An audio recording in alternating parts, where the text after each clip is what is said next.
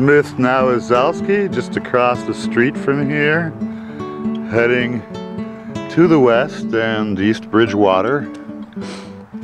A fine boardwalk can be found beyond it all. And here we are, heading east towards the coast. We'll first go up an access road and cross a working cranberry bog system.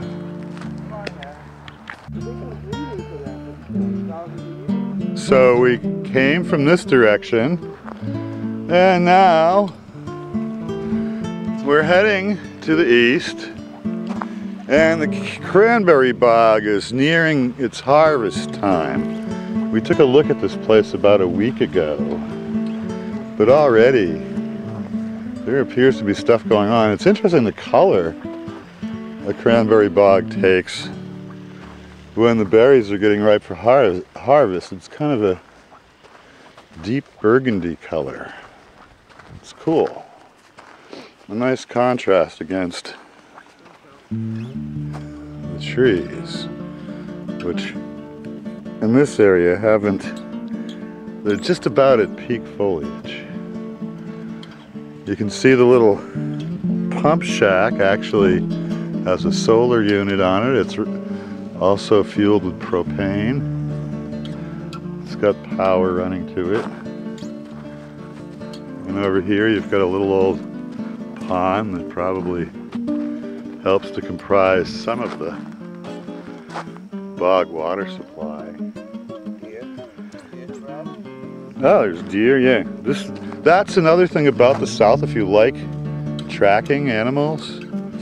The tracks tend to show up well in this type of sand more than lots of places. So it's a great place to get familiar with tracks.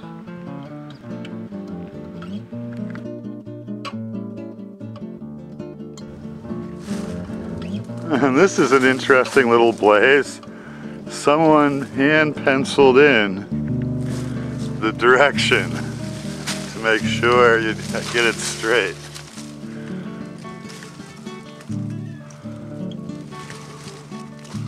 There you go. See, a little penciled arrow.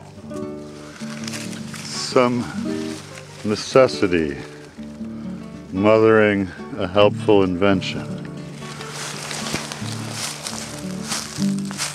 a last glance at this bog and forward we go into the wildlife management area. And now we've begun to enter the forested parts. This is reputed to be an old Algonquian access road. Another old Indian trail. That's another aspect of this neck of the woods is how many ghost remnants there are of the uh, pre-Columbian settlement presence.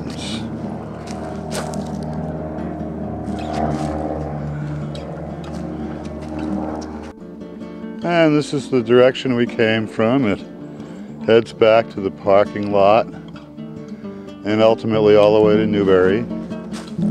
We're on the edge of uh, an open pond system Stump Pond, my yeoman scout indicates.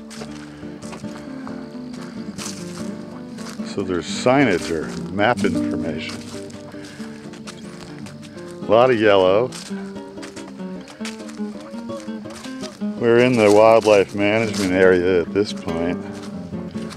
My experience in these places they're generally the least understood and visited of all the protected lands in the Commonwealth. They're originally intended to be game preserves on the hoof, just whatever the basic species mix is. It's a place that was paid for by years of hunting taxes and fishing licenses. So it's set aside for hunters, as it should be. What's interesting is that the decline of popularity in hunting has led to significant increases in all the native populations of everything you can imagine and a resurgence of moose. So I've often come to places like this and run into like new generations of wildlife who have almost forgotten to be worried about humans. Wow. There's a trail running down along the pond edge.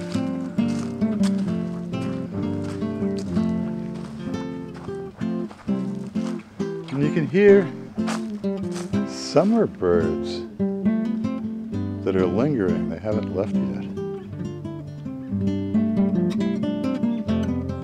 That's a robin.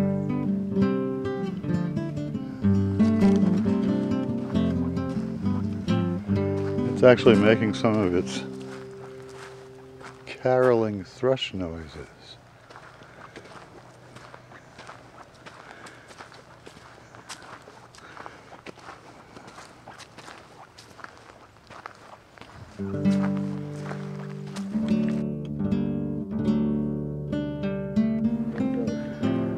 Now this is the upper extent.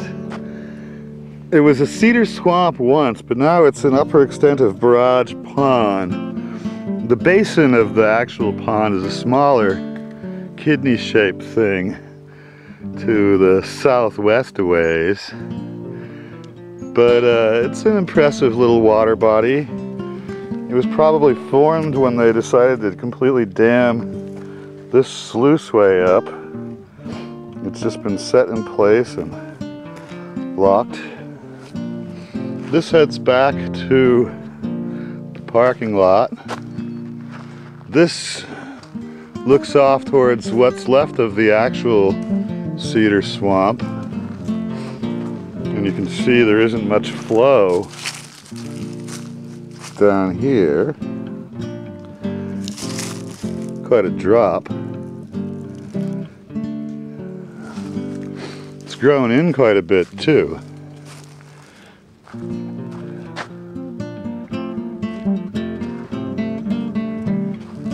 So we plan to follow this stretch until we come to whatever quandary there is that occasioned its lack of completeness. And here's another cool old bog canal. We run into these constantly down here. Thaddeus Chandler, elsewhere. Pretty much the preserve land story here is recycled cranberry operations and whatever forested margins may have existed around their fringes. This little outlet canal seems to have a bit more flow than that other block thing.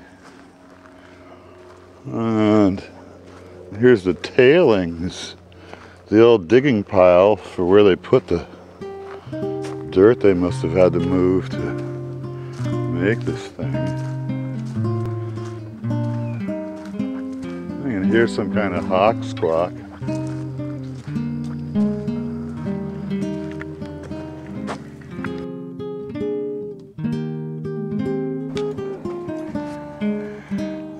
And this is where the whole mess ends for now.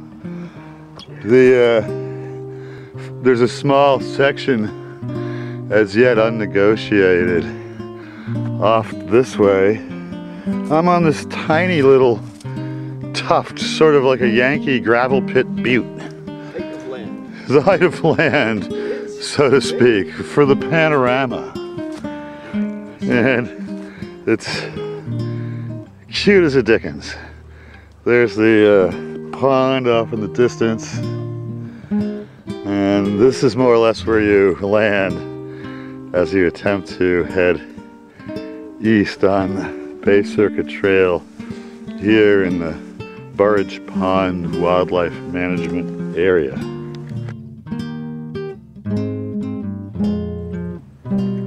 This is where Bay Circuit Trail temporarily terminates at the eastern side of the Burrage Pond Wildlife Management Area.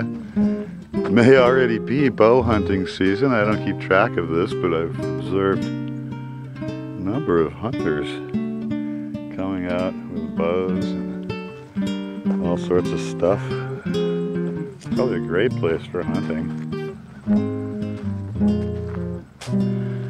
So, at some point this will be resolved. It'll most likely head in the direction where that roadblock of large boulders is. And pretty much where we are.